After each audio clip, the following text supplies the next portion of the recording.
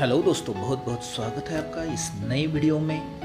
दोस्तों, आज हम बताने की कोशिश कर रहे हैं, अगर आपके किसी पोर में आपकी मोटर चलती नहीं है स्टक हो रही है तो उसका सॉल्यूशन आपको इस वीडियो में मिलेगा। तो वीडियो को बिना स्किप किए अंत तक देखिए। दोस्तों, किसी भी टाइप की मोटर हो जनरली उसके इम्पलियर में या पंप में अगर कोई कीचड़ फंस जाता है और रस्टेड हो जाते हैं ज़्यादा दिन के बाद हम उसे बाहर निकलते हैं तो पूरा कीचड़ उसमें के अंदर फंसा रहता है। जैसे कि इस वीडियो में आपको दिख रहा है, देखिए, इस टाइप का कीचड़ रहता है जो अंदर जाके फंसता है, जो मिट्टी है, जो कंकड़ है, उसके इस इम्प्लियर के अंदर फंसते हैं तो उसको जाम कर देते हैं, उस इम्प्लियर को, उस बॉडी के साथ अटक जाता है। तो हमारी मोटर अच्छी रहती है, लेकिन वो इम्प्लियर ख़राब होने या अटकने की वजह से घूमते नहीं तो हमारी मोटर बंद पड़ जाती है या स्टक हो जाती है। आपको करंट ज़्यादा खींचने को ऊपर,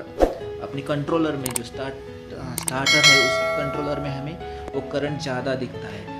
तो उस केस में हमें क्या करना है? इस इम्पिलियर को बाहर निकलना है।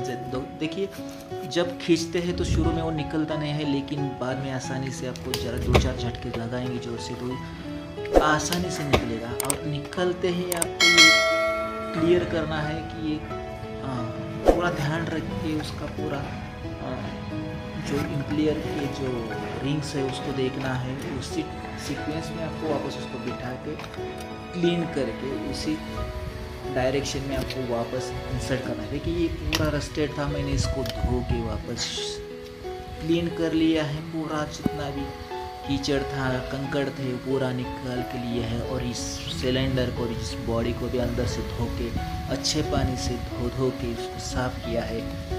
इम्पलियर को भी बकेट में डाल डाल के डुबा डुबा के बार बार अच्छे पानी से क्लीन करके देखो, ये चकाचक हो गया है। हम इसे वापस उसी डायरेक्शन में, उसी तरह से बिठाएँगे, जिस सीक्वेंस से हमने निकाला था। अंदर कुछ बेरिंग नहीं रहता, कुछ नहीं रहता। सिंपली अंदर जाके वो एक बुश जैसा है। उसके अंदर वो फिट हो जाता है और दूसरे एंड में हमको वापस मोटर का फिटिंग आता है, वो बिठाना है। तो चलिए वापस इसको बिठा देते हैं बॉडी के अंदर। तो बहुत आसान तरीका है, आप खुद कर सकते हैं घर में। देखिए, बैठ गया है अंदर पूरा। निकलते समय बहुत मशक्क़त करनी पड़ी थी, लेकिन बिठाने के लिए हमें कुछ भी तकलीफ़ नहीं हुई। इसका कारण है, उसका क्लीनिंग अच्छे से हमने क्लीन करके लिया है, उसका बॉडी उसका क्लियर देखिए, बहुत आसानी से निकल रहा है। अभी ये घुमाने के लिए तैयार है, घूमने के लिए तैयार है, जैसे स्मूथली घूमेगा।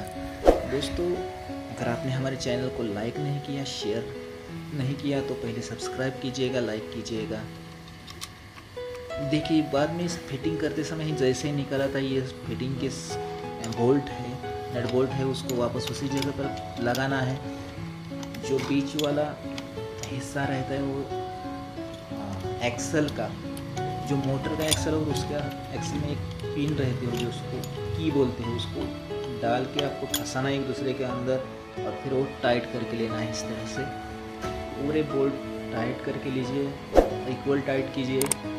और बाद में इसमें मोटर, ठीक है, ये जो रॉड रहता है, बीच वाला एक्सल रहता है, जो होल दिखता है, उस होल के अंदर एक छोटा सा की रहता है, उस की को आपको मोटर के एक्सल के ऊपर रख के उसमें इंसर्ट करना है, उसी जगह।